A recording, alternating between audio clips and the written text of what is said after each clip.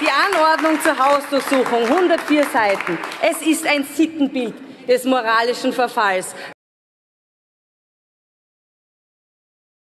Der ÖVP. Werfen Sie es nicht einfach so weg.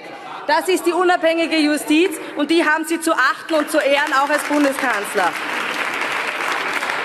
Ein Sittenbild des moralischen Verfalls, ein Sittenbild des Verfalls des Bürgerlichen an sich.